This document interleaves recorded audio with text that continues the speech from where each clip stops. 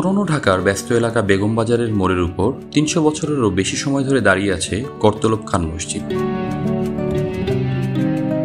বাংলার প্রথম স্বাধীন সুলতান মুর্শিদ কুলি খান সতেরোশো থেকে সতেরোশো চার সালের মধ্যে অনন্য এই মসজিদটি নির্মাণ করেন।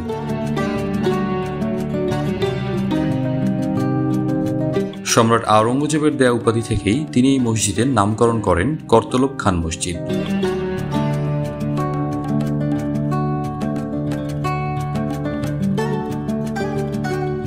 করতলব খান মসজিদটির আলাদা গুরুত্ব রয়েছে এর স্থাপত্য শৈলীর জন্য। মুঘল আমলের যেসব স্থাপত্য নিদর্শন, বিশেষ করে মসজিদ এখনও সারা দেশে টিকে আছে, করতলব খান মসজিদ তার মধ্যে অন্যতম এবং স্বতন্ত্র।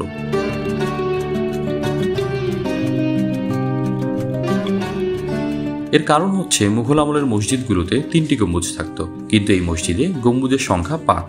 তাছাড়া মসজিদটির উত্তর পাশের দেয়ালে বাংলা দোচালা ঘরের মতো ছাউনি দেয়া একটি ঘর সংযুক্ত করা হয়েছে।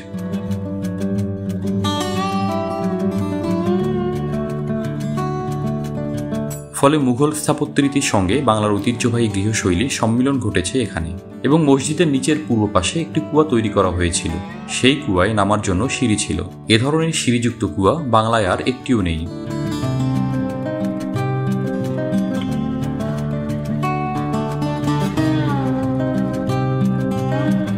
কিন্তু মুসলিম আমলে উত্তর ভারতে এ ধরনের কুয়া যথেষ্ট ছিল।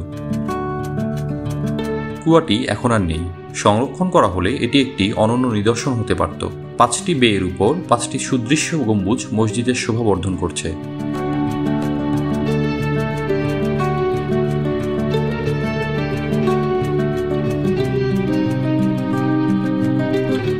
গম্বুজগুলো অষ্টভুজাকৃতি ড্রামের উপর পেন্ডেন্টিভ পদ্ধতিতে নির্মিত হয়েছে এবং পদ্ম ও কলস চূড়ায় শোভিত।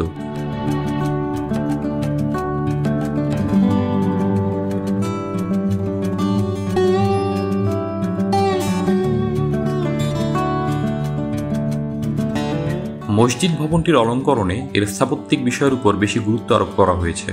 মসজিদের ভেতরের পশ্চিম দেয়ালে অর্ধ অষ্টভুজাকার পাঁচটি মিহরাব রয়েছে।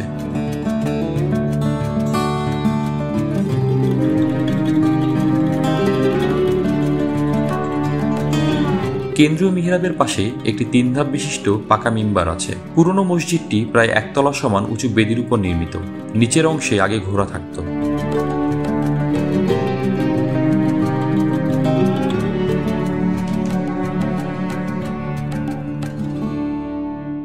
মসজিদের ভেতর ও বহিরাংশ চমৎকারভাবে অলঙ্কৃত।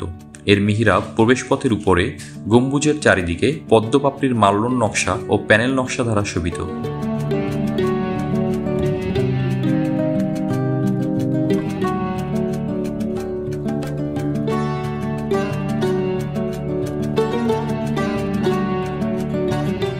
কেন্দ্রীয় প্রবেশপথটি অর্ধগম্বুজ ভল্টের মাধ্যমে নির্মিত ও স্ট্যাকো পদ্ধতিতে মুকান্নাস নকশা দ্বারা সজ্জিত।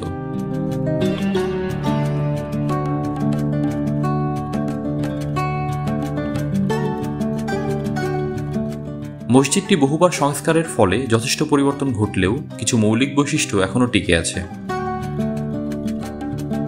এই মসজিদটির প্রথম সংস্কার করেছিলেন ঢাকার জমিদার মির্জা গোলাম পীর। এর পরের সংস্কারের সময় নিচের তলার কুয়াটি ভরাট করা হয়েছে।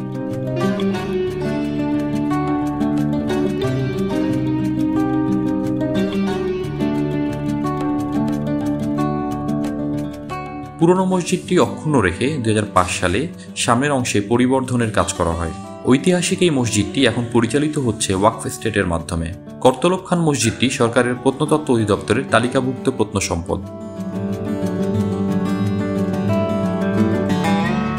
পুরনো মসজিদের ভেতরে চার কাতার ও বারান্দায় চার কাতার। প্রতি কাতারে সত্তর জন করে, আট কাতারে প্রায় পাঁচশো ষাট জন মুসল্লির নামাজের ব্যবস্থা আছে এখানে।